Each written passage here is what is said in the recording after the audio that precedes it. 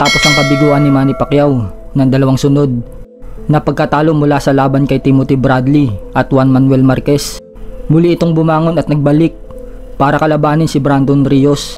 Nanalo si Manny Pacquiao sa bakanting WBO International Welterweight title noong 2013. Sa kabilang banda mga tol, may isang boksingero na umakyat ng dibisyon sa welterweight na malakas at sinagupa din ang mga magagaling sa welterweight division.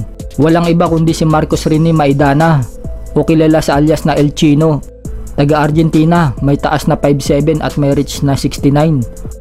Naging 2-time world champion sa super lightweight at welterweight division. Hindi nagtagpo ang landas nila ni Manny Pacquiao. Magandang bakbakan sana ito mga tol kung nagtapat ang dalawang boksingero. Muli natin silayan mga tol, ang isa sa laban ni Maidana na pinatigil ng referee ang laban dahil hindi na nakayanan na malalakas nitong kamao. Taong 2013 na magkaharap sila ni Josecito Lopez Isang Amerikano na may taas na 5'9 and a half na sa panahong ito ay may record na 30 wins, 5 losses. Samantala naman si Marcos Maidana ay may record na 33 wins, 3 losses. Sa round 1 pa lang mga tol, nagtatansyahan pa ang dalawang boxer. Puro jab lang ang binibitawan hanggang nagbato na si Yusicito Lopez ng kanan. Nasasapol si Maidana.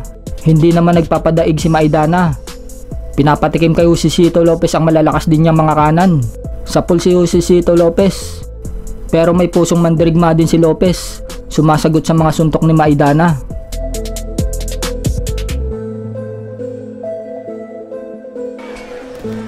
And a half gone in the opening round.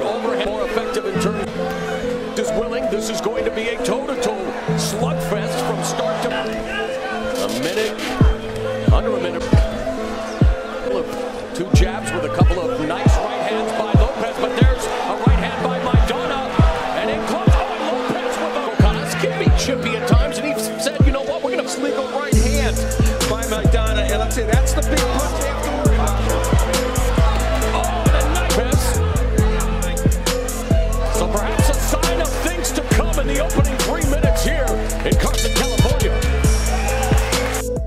Pagdating ng round 2 mga tol, naging agresibo si Maidana. Pag nako-corner si Lopez ay hindi na pinapakawalan. Kinukombo na ang Amerikano.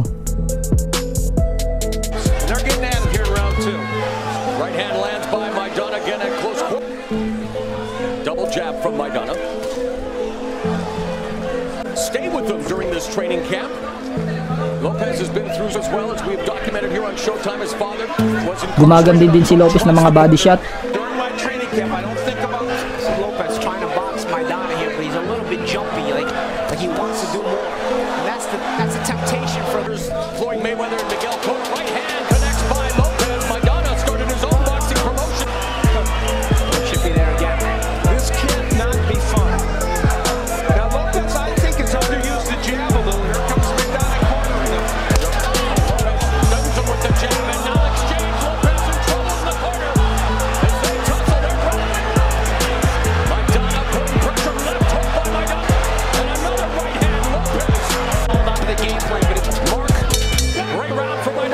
Pagdating ng round 3 mga tol, magpapakawala si Cito Lopez. Magpapakawala din si Maidana.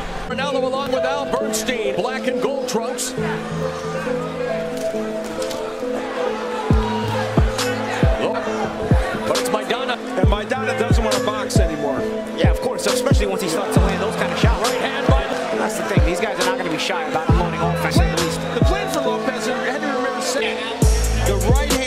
Hanggang paulanan na naman ng suntok si Lopez. Lopez,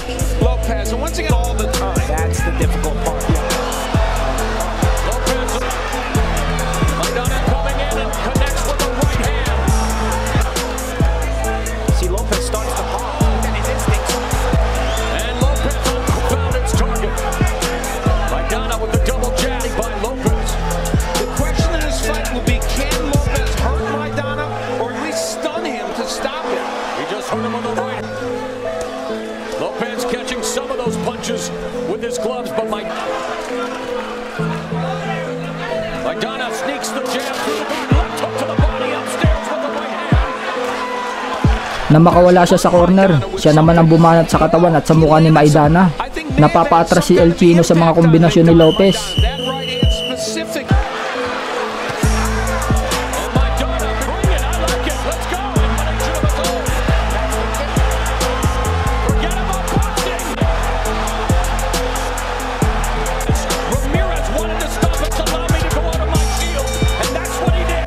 Pagpasok ng round 4 mga tol, nabuhayan ng dugo si Lopez dahil sa ginawa niya noong round 3. Napapatras si Maidana pag pinipressure. Kaya sinugod agad ni Lopez at pinakita na may tapang siya hanggang makatama na magandang body shot si Lopez. Ininda ni Maidana at natumba ito. Hindi naman binilangan ng referee dahil na-slip lang daw ito. A, slipping action, and Maidana falling down. Here, that's where little power punches. Even this, that's it. He can. For a combustible. Un- This is the fourth fight at welterweight for. Of course, he's relatively new to this division as well. and left hook right to the body. The left hook upstairs. Staggers Maidana. Lopez lands a right. Opens it to the bad guy. He didn't rule it a knockdown. He went to hold because he was hurt from that slip to begin with. Kaya sa pagkakataon na ito, si Lopez naman ang tumatrabaho at si Maidana naman ang umaatras.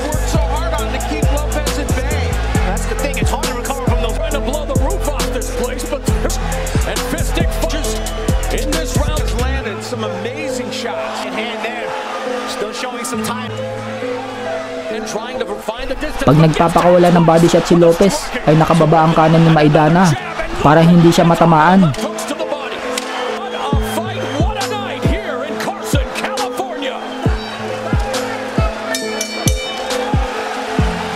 Pagdating ng round 5 mga tol, nakapagpahinga si Maidana kaya siya naman ang sumusugod sa laban.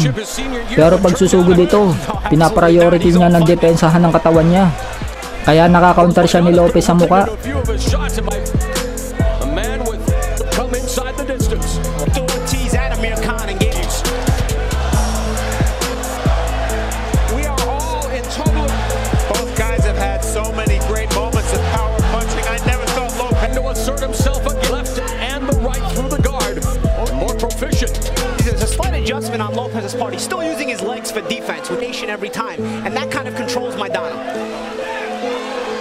Then moving, and, Yep.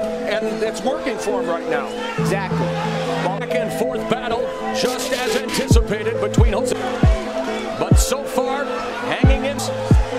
Started lightweight, went to junior welterweight. Hanggang makorner na naman ni Maidana si Lopez sa mga huling segundo at pakawalan na naman ng mga power punches niya.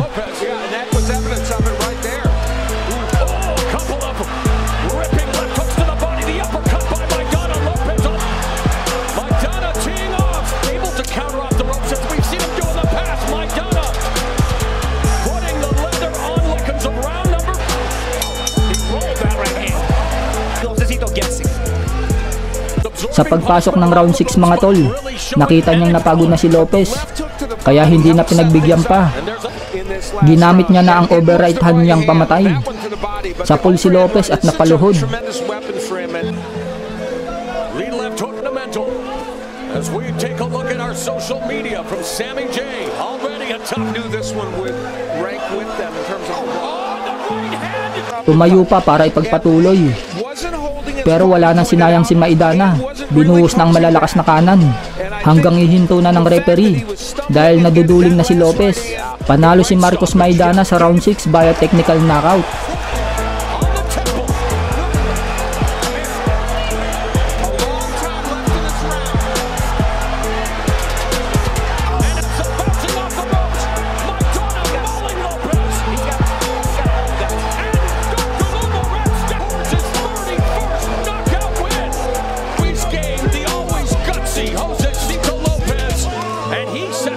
Retirado na si Maidana noong 2014. Uli nitong nakalaban si Floyd Mayweather. Dalawang beses niyang nakalaban si Floyd Mayweather. Parehas din ng taong 2014. Siya lang naman mga tol ang pumasag sa depensa ni Floyd Mayweather. Kaya sa unang paghaharap nila ay majority decision ang hatol ng judges. At sa pangalawang paghaharap nila, dito na inutakan ni Floyd Mayweather si Maidana. Kaya naging unanimous decision na ang naging hatol ng judges. Noong mga nakaraang buwan ay nagparamdam ito na gusto nitong bumalik sa boxing. Kung si Manny Pacquiao daw ang makakaharap niya, sinabi niya na si Manny Pacquiao lang ang tanging hindi niya nakalaban noong panahong kasagsagan pa niya sa boxing. Kung mapagbibigyan lang daw siya na makalaban ang ating pambansang kamao, tiyak na magandang bakbakan daw ang mangyayari. Hanggang dito na lang mga tol, at kung hindi ka pa nakasubscribe sa aking channel, pakihit mo na ang subscribe button at notification bell at piliin ang all. Salamat!